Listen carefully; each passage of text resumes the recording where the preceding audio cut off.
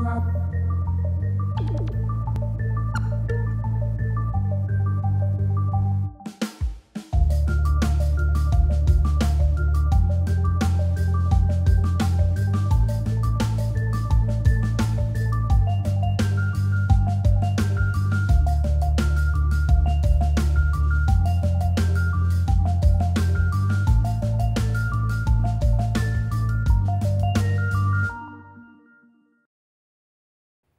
Bonjour, euh, je suis tout à fait ravi de vous, retrouver et de vous présenter deux auteurs euh, de, romans de la rentrée littéraire de septembre, l'année dernière donc, qui euh, ont, beaucoup plu, ont beaucoup plu à notre équipe, au comité de rédaction, qui ont emporté les, suffrages sans, trop de discussion, qui m'ont personnellement beaucoup touché également.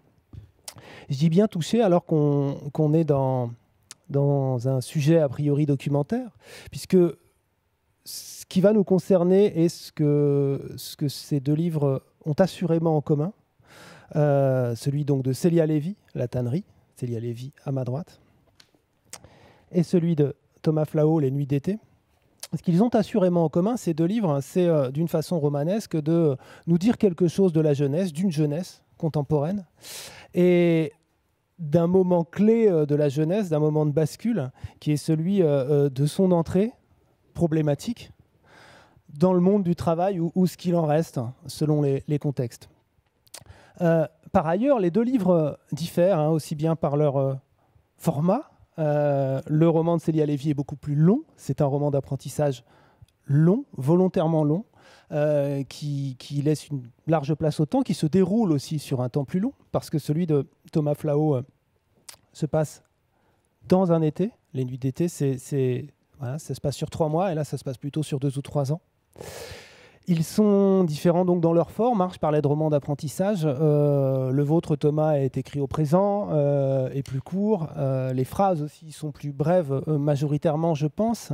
le vôtre, Célia, et c'est quelque chose dont on parlera sans doute aussi, s'inspire très volontairement de, de formes classiques euh, et des romans d'apprentissage du 19e siècle qu'il transpose dans un autre contexte. Euh, il diffère aussi par euh, les lieux et le monde du travail considéré à chaque fois. La tannerie, c'est la découverte par une jeune femme, Jeanne, du monde du travail culturel. Sur quoi la littérature nous avait assez peu documenté jusqu'ici. Euh, très contemporain, ça se passe dans les années 2015. Euh, Nuit debout y est, euh, présent. Et elle, Jeanne fait ses premières armes donc dans le monde du travail, après quelques stages en librairie et autres, un petit peu par hasard dans cette tannerie qui est, comme son nom l'indique, une ancienne tannerie reconvertie en fabrique culturelle en centre d'art contemporain et de spectacle vivant, aux abords de Paris. Alors c'est une tannerie assez générique hein, qui pourrait s'inspirer euh, de, de, centres d'art contemporain et de cette tendance à la revalorisation d'un patrimoine industriel en lieu culturel, dont on pourra parler aussi, parce que quelque part, par, euh, par opposition, ça, les livres se rejoignent à cet endroit-là sur euh, ce que sont les lieux industriels. donc ça, ça se passe à un endroit particulier, à un moment particulier. Euh, et le livre de, Thomas Flao, lui, se passe largement ailleurs, en province, en province frontalière, euh, du côté de Besançon, dans ce mystérieux Jura.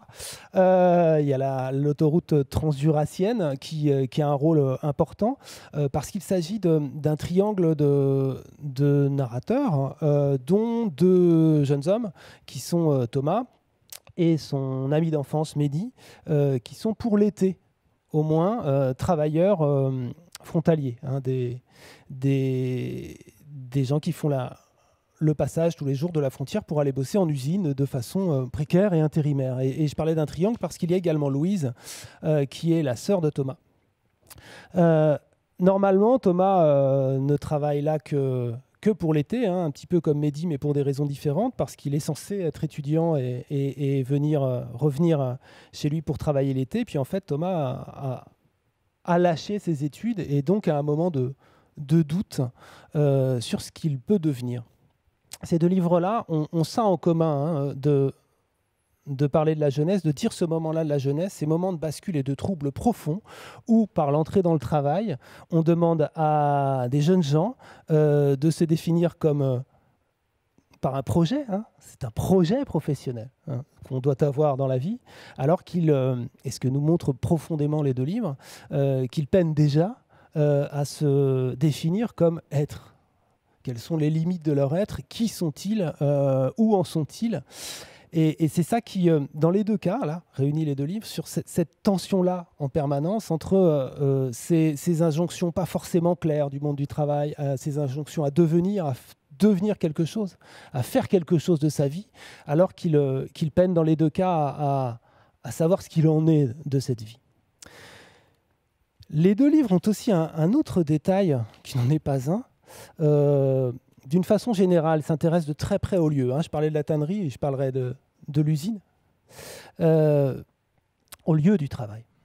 Le lieu comme, euh, évidemment, entité euh, avec tout ce qui s'y rapporte de sociologie, d'urbanisme, et puis le lieu comme l'endroit où, on traverse cette idée de travail par le corps.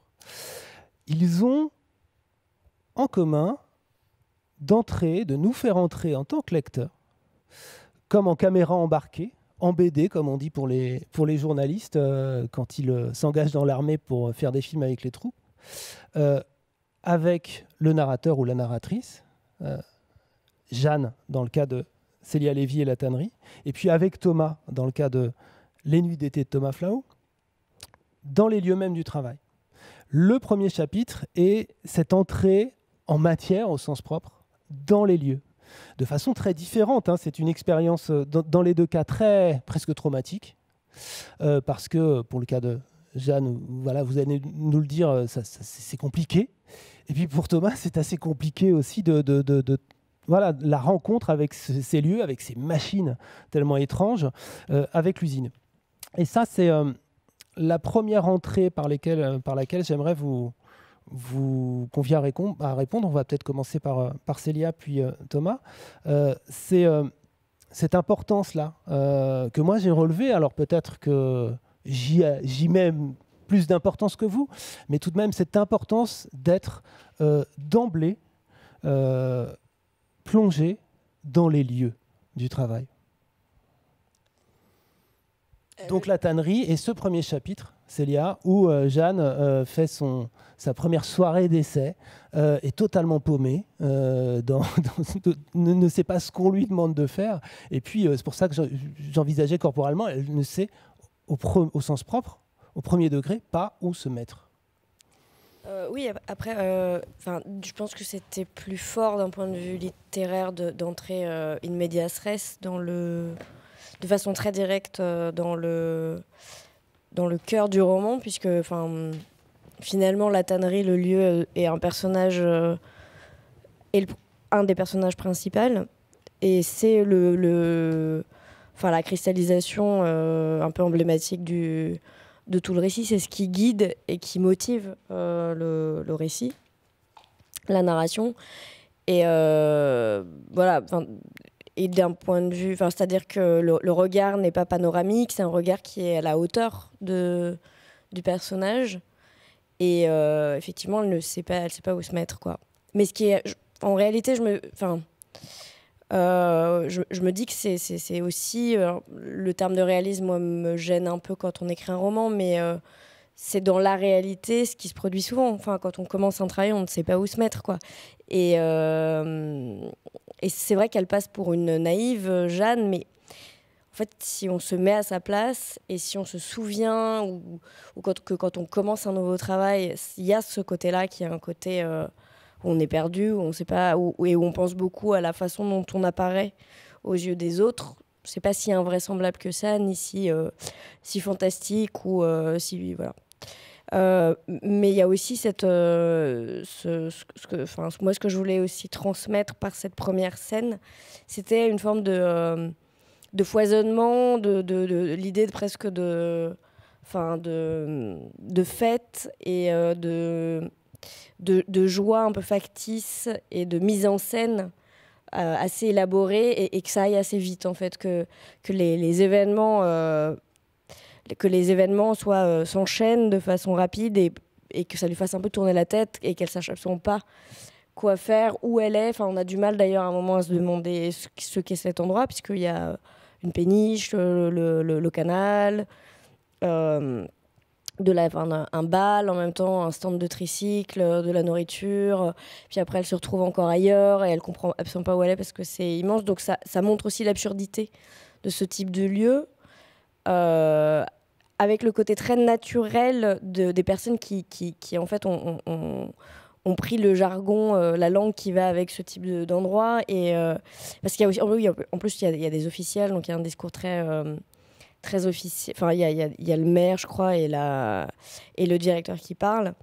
Et donc, en fait, le ton est un peu donné. Enfin, c'est un peu comme une partition. donc là, on a vraiment la, première note et ça permet aussi de, comprendre, en tout cas de voir vers où, où le lecteur, enfin, justement, où il s'embarque, quoi que c'est ça. Et j'ai l'impression que c'est quand même le contraire aussi comme euh, espace industriel, disons, que dans ton livre, euh, Thomas, parce que le côté attractif, quand même, est, beaucoup moins là. Là, il y a quelque chose de, l'ordre du parc d'attractions, du divertissement. Euh, enfin, elle, elle, est quand même, en fait, séduite par ce, par ce lieu.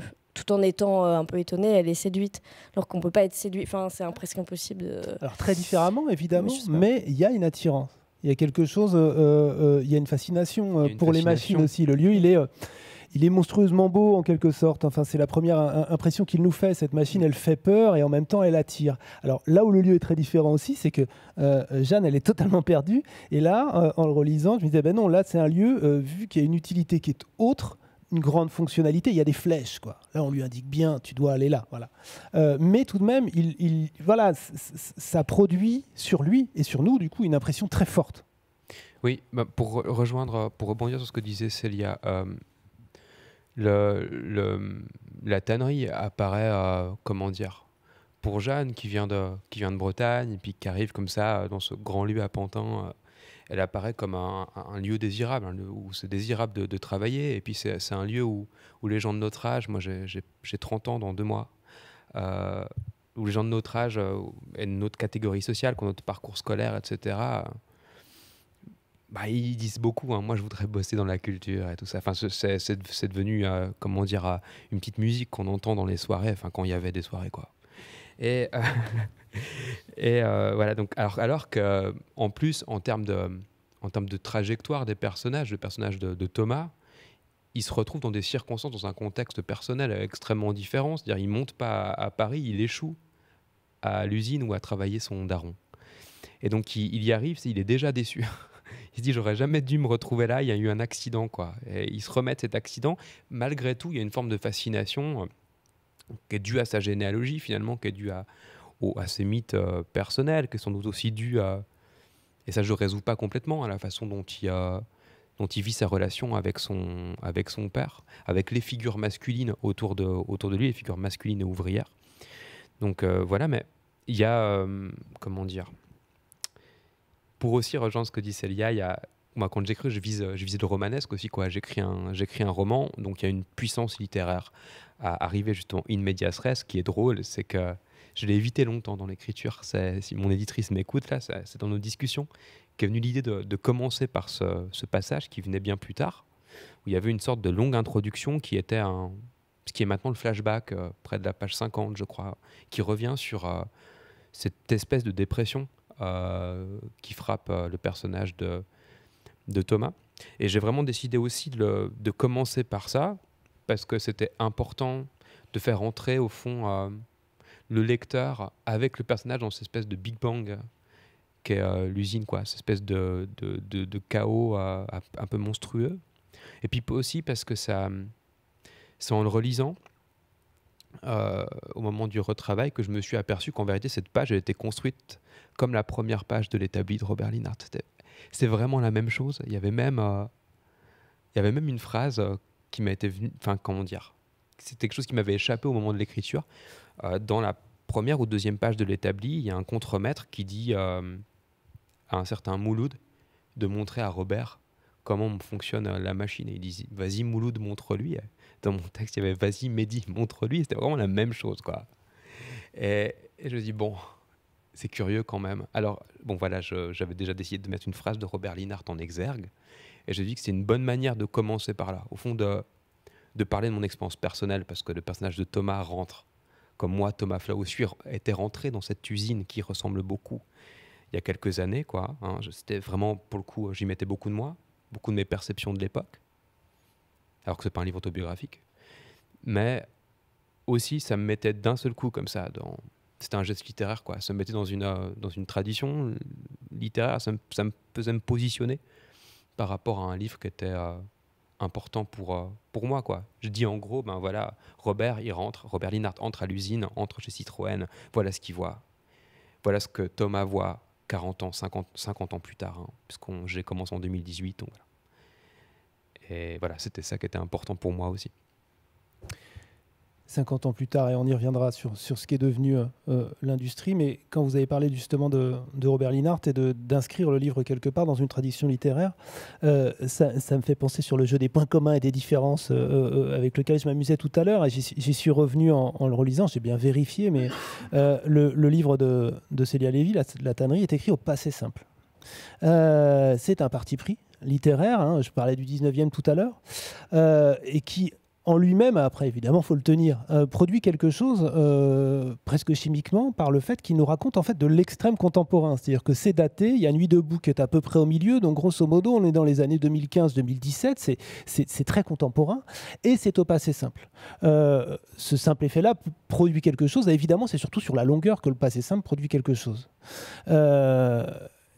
La question que j'aimerais vous poser à cet endroit-là, c'est la, la nécessité pour vous, la raison euh, de le au départ, hein, euh, dans l'idée première, euh, puisque c'est un gros livre, donc c'est un projet qui vous a accompagné longtemps, de, de le situer dans une tradition, et dans celle-là, c'est-à-dire celle du roman. On va pas jouer avec le terme réaliste tout le temps, en tout cas du roman d'apprentissage, 19e, pour, pour résumer un peu, en l'écrivant au passé simple, d'une manière classique serait un peu vite dit, mais vous voyez ce que je veux dire par là, c'est-à-dire l'inscrire dans une tradition littéraire. Oui, enfin, je pense qu'il est inscrit dans une tradition littéraire, mais même en fait le, le, sujet lui-même, euh, mais parce qu'en fait, euh, comment dire, étant donné que la littérature française, la plupart du temps, est, entrée au patrimoine et elle entre fréquemment au patrimoine, et même les personnes qui enfreignent les règles euh, du, du roman, comme on dit, classique, euh, finissent eux-mêmes par devenir des auteurs classiques. Il y a un fond comme ça euh, qui est un peu de l'ordre du monument, mais qui est là, quoi. Enfin, il est là, et, donc euh, moi j'ai décidé de l'utiliser comme on décrirait un arbre ou une, enfin, ou en tout cas oui. Et puis à partir du moment où il y a des, c'est-à-dire ce sont des mythes, des mythes littéraires c'est aussi une façon d'abord de, les, de, les, de les mythifier et donc de les démythifier. Si on reprend euh, ce, que, ce dont parle Barthes quand il parle des mythes, euh, des mythes littéraires euh, et, des mythologies.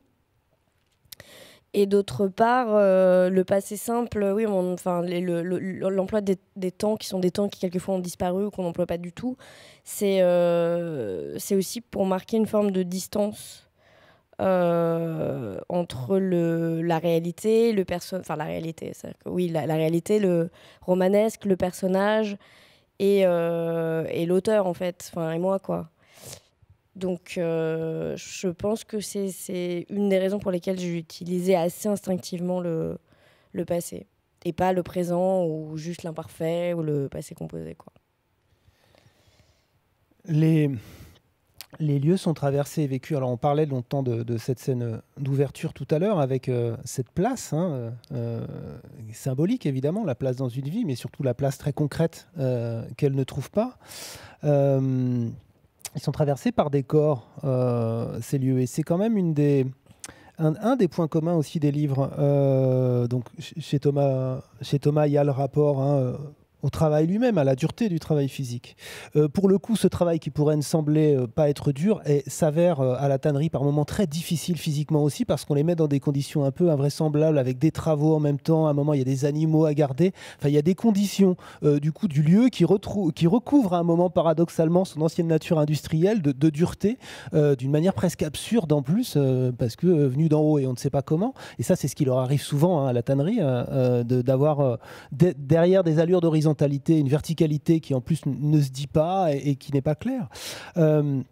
mais le corps est partout et, je repense par exemple aussi au, moment où Mehdi, le copain arabe de, Thomas, trouve un emploi de veilleur de nuit qui lui fait honte. Euh, et on lui dit, euh, il y a tout un passage sur l'uniforme en fait. Euh, il a l'impression de n'être bon qu'à être qu'un corps en fait, dans un uniforme, que c'est sa seule fonction, c'est sa fonction première.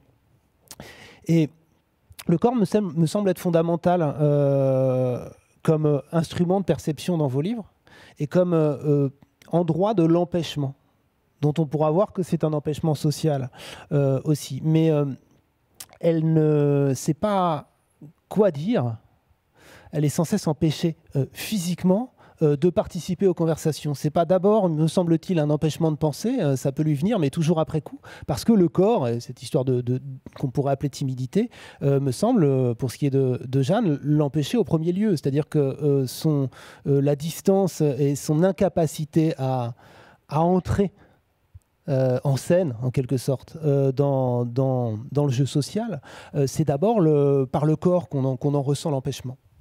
Oui, oui, puis en plus, bon, je crois qu'en plus au début, elle a mis un... elle s'habille. Il y a aussi les habits parce que, en gros, elle est hôtesse d'accueil et bon là, les hôtesses d'accueil, c'est un peu plus cool. On leur demande pas de porter des talons, etc. Mais c'est elle-même qui se l'impose avant même d'avoir commencé, enfin avant qu'on lui demande, puisque elle, je crois, elle porte un tailleur et donc Voulant bien faire, elle, se met mal à l'aise physiquement. C'est-à-dire qu'elle se met des tenues dans lesquelles elle n'est pas à l'aise. Euh, euh, je crois qu'à un moment, il est question des doudounes, euh, et, ils ont froid. Et, moi, je pense que toutes les personnes qui ont été hôtesses ou hôtes d'accueil, à un moment, voient un peu ce que c'est. C'est-à-dire qu'on est souvent dehors. Enfin, moi, je l'ai fait plusieurs années, et en fait, on est souvent dehors. C'est pas du tout la même fatigue physique. Il n'y a pas le côté abrutissement et abrutissant que tu décris, Thomas, dans, euh, dans Les Nuits d'été, moi qui m'a beaucoup marqué sur le côté où on est complètement déphasé entre le jour la nuit, euh, espèce de fatigue qui est permanente en fait. C'est un peu différent, mais on a c'est vrai que ben, oui, moi je sais ce que c'est que d'être euh, hôtesse d'accueil, donc on a mal aux pieds. Talon ou pas talon, talon c'est encore pire, mais sans talon on a mal aux pieds, on a mal aux jambes, et ça elle en parle quoi. Et aussi le fait d'être souvent debout, d'être dehors, fait qu'on a froid. Et donc elle parle, elle parle beaucoup du froid, euh, je crois à un moment. donc il y a ça. Et bon, il y a que elle, effectivement. Euh, il y a toute la représentation aussi euh, et sociale et comment dire un peu de, genre où elle a l'impression de ne pas correspondre ni à, l'image qu'elle se fait de la parisienne, ni à l'image qu'elle se fait du, du, canon féminin. Quoi. Et ces deux choses-là, combinées et qui vont ensemble, hein, l'empêche de prendre la parole et elle n'a pas, elle pense ne pas avoir en fait aussi le, le bagage culturel pour pouvoir s'exprimer, prendre la parole euh, parmi ces, enfin avec ces, ces personnes euh, qui lui semblent supérieures ou euh, intellectuellement quoi et socialement en fait parce que c'est ça surtout. Et là, je repense à Mehdi et à son corps qui est en même temps si vif et si en mouvement en permanence, euh, mais qui euh, euh, se sent dans les mêmes empêchements aussi. C'est-à-dire que il, n'est de toute façon pas à même de, faire autre chose qu'être qu'un corps parce qu'il est assigné d'origine.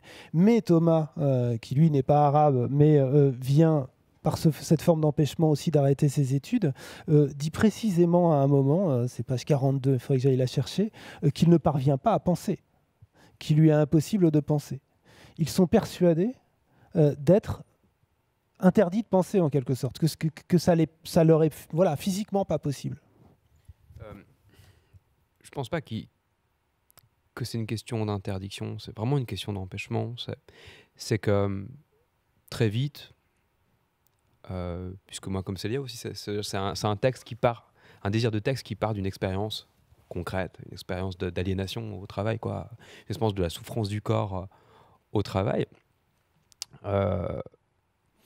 Comment dire moi, j'ai pu écrire euh, que des années après, vraiment, euh, vraiment là-dessus, parce que euh, justement, au fond, c'était très difficile de se dissocier et de penser le travail tout en le faisant. Je, travaillais de nuit à, l'usine et je, rentrais le, matin en, stop et je tenais un petit carnet où je racontais juste ma nuit, mais très factuellement, comme ça, en buvant une bière avec mon colocataire à 7 h du matin. Et voilà, c'était tout mon carnet de que j'avais pris à l'économa. Quoi. Il y avait juste vraiment des faits que j'énumérais. C'était plus ou moins voilà, ce que j'avais fait dans, dans la nuit, sur quelle machine j'avais bossé. Ça allait pas loin parce que c'était tout le temps la même. bon, euh, c'est un empêchement parce que l'usine prend tout l'espace de la tête, prend tout l'espace de la vie, euh, prend tout l'espace des rêves aussi. Euh, bah, je crois que j'écris ou j'écrivais, si, je crois que j'écris que c'était comme une langue étrangère, on finit par se dire qu'on commence à l'intégrer quand on la rêve, quand on rêve dans cette langue. Donc quand on commence à rêver dans la langue des machines, on est mal barré en fait. voilà, donc ça, ça, ça, arrive à, ça, ça arrive à, tout le monde. Et comment dire, peut-être que du côté de Thomas, il y a vraiment cette question euh, qui, est, la mienne en tant qu'enfant d'ouvrier. Euh, c'est comment mon père a, fait pour, euh, pour tenir, pour être disponible pour ses enfants, pour ses amis, tout en ayant ça qui m'a terrassé en quelques mois. comment est-ce que mon grand-père, ma grand-mère ont réussi au fond à, ne pas devenir fou Comment cette génération de gens réussissent à ne pas devenir, devenir fou Voilà. Je pense que cette question de l'empêchement de, de penser, elle, est beaucoup plus traitée à travers le personnage de Thomas qu'à travers le personnage de, de Mehdi. Mehdi, c'est un autre empêchement. Il, a tout à fait conscience, au fond, qu'il est. En tout cas, il, a l'impression que sa vie est finie, je pense. Il a l'impression qu'il est bloqué et, qu'il peut, euh, qui peut plus aller. Euh, et qu'il peut, peut plus aller nulle part. Et, il trouve, euh, et sa vie, elle trouve une issue euh, un mauvais contour, quoi, sur une route de montagne. Mais euh, ouais, ouais. Les corps et les lieux. Donc euh, Mehdi, et la moto. Hein. forcément, on, y fait allusion. la difficulté à traverser, à vivre, à, pénétrer ces lieux-là, au sens propre. donc les lieux du travail, on les a un peu évoqués. mais il y a d'autres lieux symboliques dans les livres. et quand je parlais de, cette bascule de la jeunesse tout à l'heure, il me semble que quelque chose se joue là, euh, dans leurs deux cas. Alors Thomas revient hein, d'emblée hein, sur ces lieux d'origine, euh, c'est sous une forme d'échec au départ, mais il y a aussi euh, une mélancolie qui le traverse parce que les lieux sont ceux de l'enfance. Il y a quelque chose qui revient. Et quand Jeanne va vraiment pas bien, euh, elle retourne en Bretagne et il y a le même genre de mélancolie qui la prend face au paysage. Euh, et le même genre de retour d'enfance aussi. C'est-à-dire que euh, là, les lieux d'origine ont, plusieurs vertus symboliques, me semble-t-il, hein, c'est-à-dire sociales, évidemment, les, lieux de l'échec, mais les lieux d'où on vient, et qui sont à un moment de la difficulté de leur trajet un peu magnifiés dans leur tête, mais qui disent en même temps, qu'en fait, ils ont déjà pris un coup de vieux. Parce que euh, c'est le moment où, dans leur vie, ils sont en train de se dire qu'il y a eu un passé, finalement. Avant, ils étaient jeunes. Et quand on est jeune, on ne pense pas à l'enfance. Et quand on devient adulte, on commence à se rappeler qu'on a été enfant.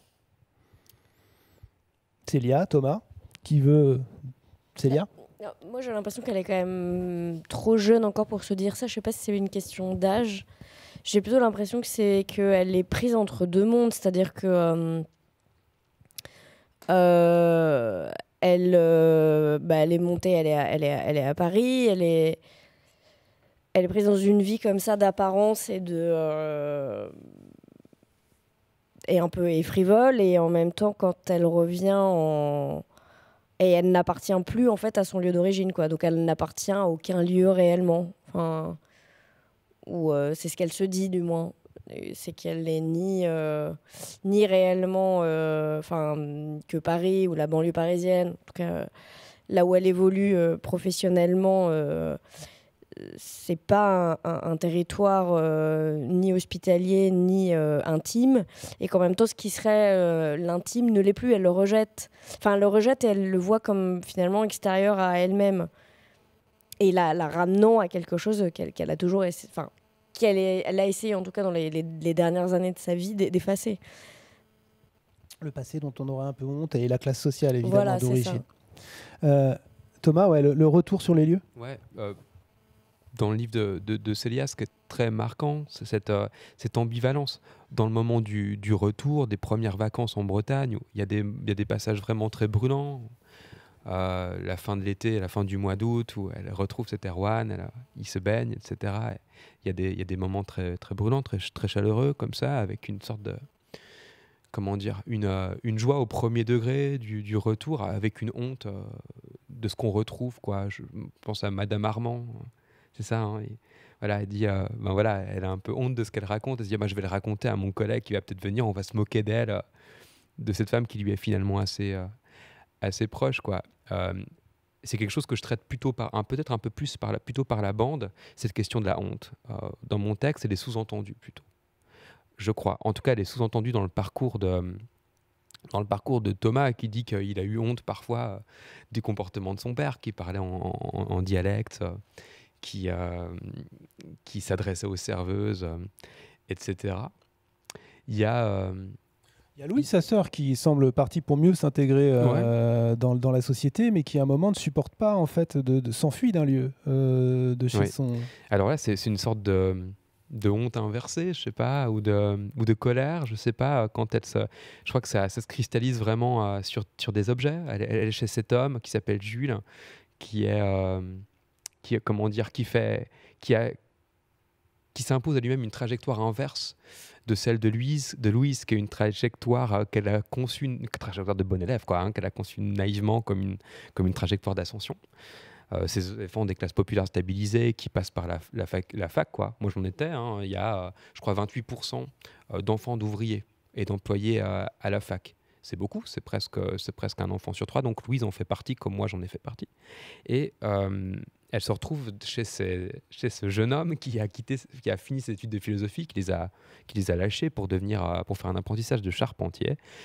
Il a des parents architectes avec une très très belle, euh, très, très belle maison. Et je crois que la, maman euh, de cet homme, de ce jeune homme, met un, disque de Coltrane. Et puis je crois qu'à l'intérieur d'elle, c'est trop. quoi. Le repas est bon, c'est un repas en cas de service. Il y, a, il Coltrane qui passe, il y a peut-être même des chandeliers en argent, je sais pas. Là, c'est trop, quoi. C'est pas possible, faut s'en aller, quoi. Elle a, elle a vraiment terriblement, euh, terriblement honte. Donc il y a ça, il y a, cette, euh, cette, honte sociale euh, qui est, comment dire, qui est presque un, topos en littérature, quoi, ces 30 dernières années. c'est très, très prégnant, quoi. Et puis, il y a aussi une description peut-être de, ce lieu de l'enfance comme, oui, un lieu de mélancolie, mais aussi un lieu de, chaleur, un lieu de, lumière qui vient contrebalancer finalement la, dureté des nuits d'été dans mon livre je comment dire, j'écris mes livres, je sais pas toi Célia, mais moi je vois des couleurs aussi, hein, dès le départ. Et, mon, premier livre est un livre gris. Hein. Il était très sombre. Euh, voilà, c'était une explosion nucléaire, tout ça. Enfin voilà, j'ai pas de main morte quoi. Mais là, je voulais vraiment un, texte plus lumineux, euh, un texte où euh, comment dire, on est dans ce lieu gris et mélancolique qu'est le quartier dans lequel j'ai dans une image du quartier dans lequel j'ai grandi, mais c'est aussi un lieu où, où, on s'aime et où on, comment dire, on pratique une, sorte de communauté perdue. C'est-à-dire qu'on on retrouve ses amis d'enfance, on fait comme si euh, la vie nous avait pas éloignés. On s'aime toujours. On est là, euh, on est là ensemble. On ne pose pas la question du, du social. On se pose pas, on se positionne pas dans l'arc social. On aime et c'est tout. En tout cas, moi, je voulais, dans un, j'ai écrit ce livre aussi pour me dire que c'était possible, parce que j'avais l'impression que dans ma vie, ça l'était pas. Et voilà, j'ai, écrit ce livre aussi pour euh, retourner au lieu de mon enfance où je ne retourne plus, et, euh, et retrouver mes, retrouver mes proches, retrouver mes, mes amis, recréer une communauté par, euh, par la littérature et par la langue, par cette troisième personne qui passe de, de point de vue en, en point de vue, quoi tout au long du livre, euh, ne parvenant pas, je pense, à, adhérer, à, pénétrer, à avoir les clés, les codes, aussi bien langagiers que, sociaux. Euh, Jeanne euh, est dans des, formes de rejet, aussi bien de la famille que du Erwan qu'elle croise. Et il y a une scène notamment très cruelle, je crois que c'est pendant Nuit debout, où elle rencontre une ancienne copine de fac ou de lycée, enfin du début de sa formation, qui va encore plus mal qu'elle et elle en jouit. Enfin, euh, elle, là, c'est la première fois, enfin, c'est une des seules fois où elle parvient à tenir un discours complètement euh, valorisant euh, de son boulot, qui est un discours fake en plus, hein, enfin, qu'elle fabrique parce qu'elle elle traverse pas vraiment ça en ce moment.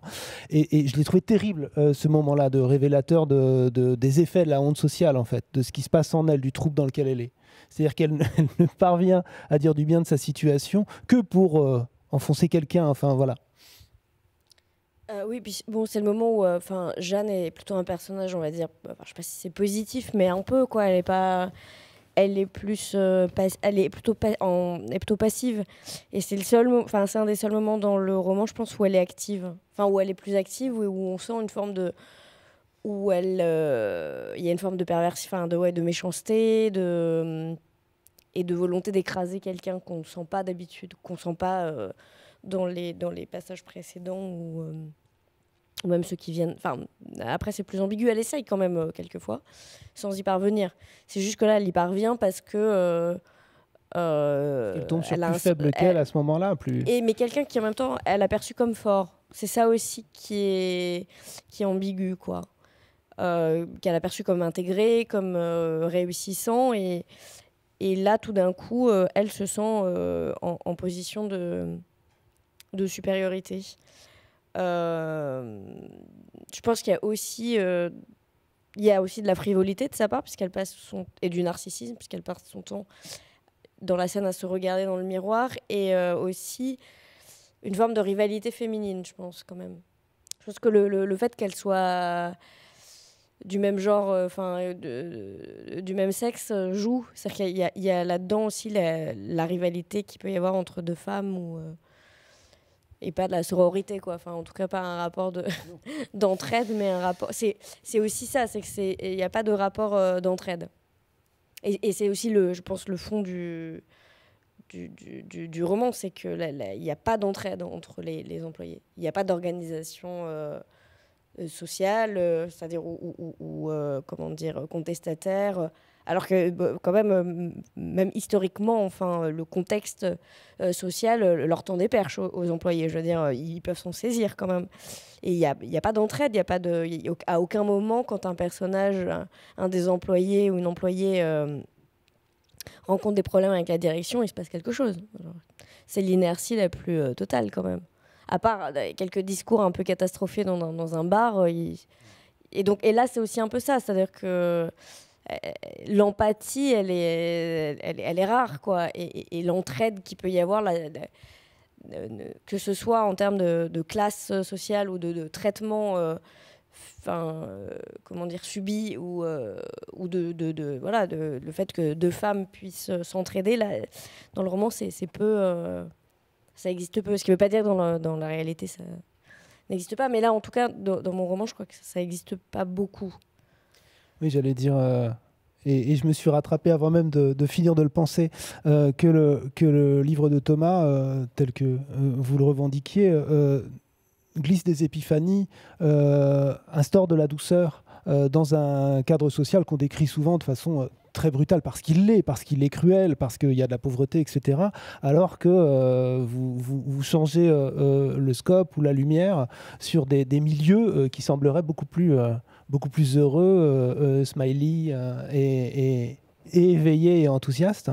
vous faites apparaître une violence tue ordinairement sur, ce, sur le monde du travail en lui-même, dans la tannerie et dans les milieux culturels bah Parce que c'est censé être sympa, quoi. Donc, non, mais clairement, et c'est vrai que bah, l'usine, c'est censé être pas sympa, mais je pense qu'il y a une culture moi, je ne veux pas, mais il me semble qu'en tout cas, il y a une culture peut-être euh, et syndicale et d'organisation et d'entraide et aussi dans le dans, un prolétariat qui se qui aussi assume euh, et peut-être a une forme de fierté a eu une certaine fierté par rapport à ça qui fait qu'il y a une entraide mais comme dans les cités il y a plus d'entraide que dans les quartiers bourgeois. Enfin il en reste quelque chose. Alors c'est un peu dilacéré c'est ce que dit le livre aussi c'est la, la, classe ouvrière euh, euh, leur travail précaire, les usines qui, enfin, l'usine qui ferme, qui, démonte symboliquement, ça dit bien aussi qu'on essaie quand même de liquider ça. Je pense que ce qui était de l'ordre de la culture de classe. Euh, oui, alors je suis pas sûr que les usines qui ferment liquident. Enfin, c'est vraiment, c'est peut-être pas vraiment l'usine qui ferme qui liquide la culture de classe ou la conscience de classe. C'est les évolutions du travail depuis l'époque de Robert Linhart, l'apparition du travail euh, intérimaire. Moi, j'ai grandi à Audincourt. Euh, il y avait un foyer de jeunes travailleurs tout près de chez moi et euh, Stéphane Beau avait fait une enquête dans la misère du monde qui se passait dans ce foyer de jeunes travailleurs. C'était en 1991, donc date de ma naissance. Et déjà là, c'était des intérimaires qui venaient des quatre coins du pays quoi, et qui venaient bosser là. Ils n'avaient aucun, horizon, etc. Donc, donc ça commence à, dater. Moi, ce qui, ce ce qui m'a frappé euh, en lisant finalement le livre de Célia, en se disant qu'on allait le mettre, mettre nos deux comme ça, c'était finalement le, rapport qu'entretiennent dans leur discours les, personnages à la politique, au, à la lutte collective. Ce qui est très frappant, c'est qu'au fond, il n'y a pas d'entraide à la, tannerie. Mais par contre, je veux dire, il y, a des, y a des tunnels où on a tous les, tous les top comme ça du discours de gauche. Il y, a un peu tous les, euh, tous, les, tous, les, tous les clichés de la gauche des, des, des, dix dernières années qui reviennent comme ça. Je veux dire, moi, moi il m'arrive trop souvent de parler comme ça aussi. Hein. Mais euh, voilà, je, retrouvais, euh, je retrouvais ça, alors qu'au final, il n'y avait pas de. Comment dire C'est comme si tout la politique était qu'une affaire de, discussion et de posture qui, qui, comment dire, qui, qui ajoutait un peu de valeur à soi, quoi, à la manière dont on se montre aux aux autres, mais que ça, ça avait comment dire, ça avait pas de prix sur le réel, quoi. Hein. C'est une, fiction politique qui est euh, comme ça énoncée par, euh, par les personnages, alors que les miens, ils s'abstiennent de, parler de, politique, et même Louise, en fait. Ils s'en abstiennent complètement, et ils disent, euh, font l'amour, on n'en parle pas, on le fait, la politique, on n'en parle pas, on la fait pas non plus. mais par contre, comment dire, la littérature, peut-être qu'elle peut des toutes petites choses. Peut-être que ce qu'elle peut, peut-être ce qu'elle peut faire d'intéressant, c'est quand, elle sait qu'elle ne peut faire que des petites choses. Alors moi, je voulais que mes personnages se révoltent, mais de façon un peu, un peu petite, un petit truc quoi. Et là, c'est ce qui se passe à la fin de mon, livre. Enfin, je, raconte qu'ils ont, qu'ils ont bloqué l'autoroute et qu'ils ont, euh, qu'ils ont fait quelque chose parce que tu parlais de culture syndicale et tout ça. Là, on est en Suisse et euh, il y a une, euh, comment dire, le côté documentaire du texte, c'était aussi de montrer une situation de domination très très particulière, qui est celle des travailleurs euh, frontaliers, qui ne vivent pas qu'en Franche-Comté, qui viennent aussi de Lorraine, qui viennent aussi de, Picardie et du Nord-Pas-de-Calais, qui viennent aussi de Haute-France. Donc. Et euh, comment dire, c'est une organisation du travail qui permet de balayer toute possibilité d'organisation syndicale, quasiment. Euh, ils ont un salaire un petit peu meilleur, euh, bien meilleur euh, que s'ils bossaient comme intérimaire chez Peugeot à 20 km de là. Mais tout de même, il n'y a aucune possibilité quasiment d'organisation, collective. Et, et donc voilà, le fait politique, ils ne peuvent pas en parler au fond, parce qu'il n'y a même pas possibilité de s'organiser, ils, ils, sont tout à fait exclus de ça au fond. Ils font que de la subir la politique sans savoir vraiment que c'est de la politique parce qu'ils sont entre deux pays. Par contre, peut-être qu'il peut y avoir une sorte d'explosion de rage de... Euh. Puis ils passent par les corps, on y revient. C'est ah, ce ben qu'ils font, ils manifestent au sens propre quelque chose. Et il y a quand même un petit peu de ça qui passe par moment dans Nuit debout, c'est-à-dire l'engagement du corps dans quelque chose euh, euh, signifie, signifie une possibilité, une brèche à un moment, alors qu'on est effectivement envahi de, discours surplombants, et notamment le cas du camp de migrants qui est à côté de la tannerie. Ils se sentent tous, à un moment, il y a quelque chose comme ça, ils se sentent tous bien parce que la direction a, donné un message, et ce message leur permet de continuer à abstraire le camp et, à ne pas le voir, en fait. Il y a eu, il y a eu des mots euh, pour, euh, pour recouvrir les choses. Mais au moment du debout par moment, ouais, corporellement, il y, a quelque chose qui, qui, semble pouvoir se réveiller. Oui, puis bon, en fait, euh, c'est mes personnages, c'est les personnages qui sont les à part Saïd, parce que quand même il y a le personnage de Saïd qui est quand même différent et qui lui s'engage réellement, enfin, et qui a pas peur de le, de le dire même, de l'assumer. Oui, mais il est exclu du coup.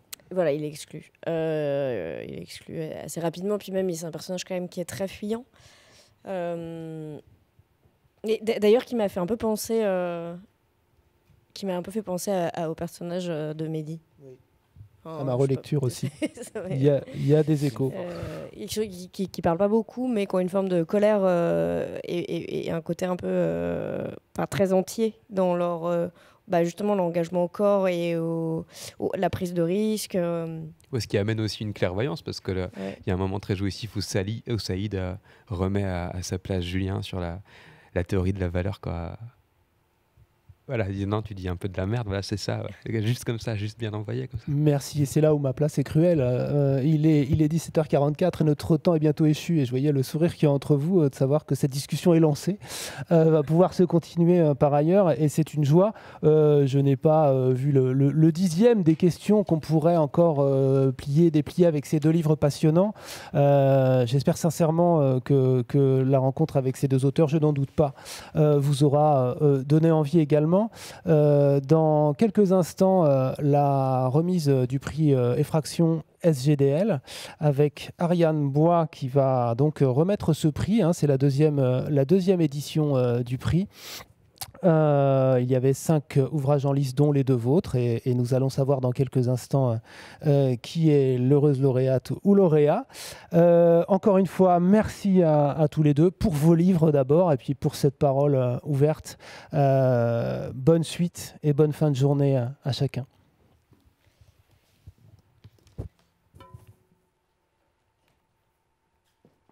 Bonjour, je m'appelle Ariane Bois, je suis présidente du jury Effraction et de l'action culturelle à la Société des gens de lettres. La Société des gens de lettres représente 6000 auteurs euh, de l'écrit. C'est le plus ancien syndicat euh, français d'auteurs et nous en sommes très fiers. Alors nous sommes très heureux d'être associés à la Bibliothèque publique d'information pour cette seconde édition du Festival Effraction qui est donc euh, dédiée à la création littéraire contemporaine.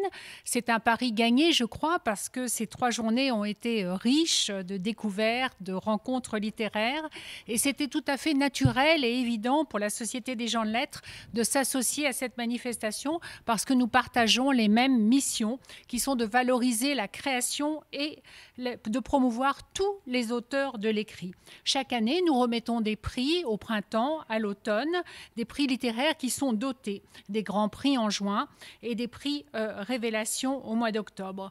Donc nous avons souhaité euh, remettre en partenariat avec Effraction et la BPI un de nos prix qui récompense, encourage et soutiennent la création contemporaine et des auteurs émergents. Avec le prix, euh, le prix Effraction, nous cherchons à récompenser un ouvrage qui résonne avec le réel, qui suit l'actualité, et il faut qu'il soit paru entre janvier et décembre 2020. Donc avec les équipes de la BPI, nous avons nous, sommes mis au travail, nous avons sélectionné des ouvrages, choisi le lauréat. D'ailleurs, vous pourrez en découvrir certains euh, lors des ouvrages en podcast dans la série qui s'appelle Réelle fiction, réalisée par la BPI. Je voulais d'ailleurs euh, prendre euh, le micro à cette occasion pour remercier les équipes de la BPI et tout, tout particulièrement Emmanuel Payen, Annie Brigand, Monica Prochniewicz, Inès Carme, de, nous avoir aussi permis de nous associer à cette belle manifestation, d'avoir réussi le pari de cette toute première édition. Et pour cette nouvelle édition, le jury, le jury qui est composé de Manon Denis, qui est lycéenne, Bernadette Vincent, qui est bibliothécaire, Anaïs Châtaignier, qui est usagère gagnante du concours pour participer au jury, et de quatre membres de la Société des gens de lettres, François Thierry, Marianne Rubinstein, Gérald Aubert et moi-même, nous remettons donc le prix à celui que je vais appeler Thomas Flao pour son excellent roman Les Nuits d'été, paru aux éditions de l'Olivier. Thomas, si vous voulez me rejoindre sur la scène. Je suis ravie de vous rencontrer. Je voulais, vous dire quelques mots sur votre très très beau roman. C'est un deuxième roman qui est tout à fait ébouriffant. On suit donc euh, trois personnages Mehdi, Thomas et Louise. Les garçons vont se retrouver à l'usine. Louise fait une thèse sur les ouvriers et c'est un portrait, ce qui nous a vraiment épaté, c'est le portrait d'une génération, un portrait fait avec empathie, avec compassion, avec délicatesse. Lorsque l'usine va fermer, le désarroi est évidemment palpable. Il y a de l'impuissance, il y a de la colère, il y a de la révolte. C'est un très grand roman social. Vous vous inscrivez dans une lignée qui est celle de beaucoup d'auteurs euh, et qui est celle, par exemple, du prix Goncourt de Nicolas Mathieu. Donc, euh, vous pouvez en être fier. Et au nom du jury, je vous félicite et je vous remets le chèque de la Société des Journalistes. Alors, le chèque est un petit peu plus petit que ça, mais euh, l'enveloppe mérite, le livre méritait bien une belle enveloppe. Merci beaucoup. Merci beaucoup à vous. Merci. beaucoup.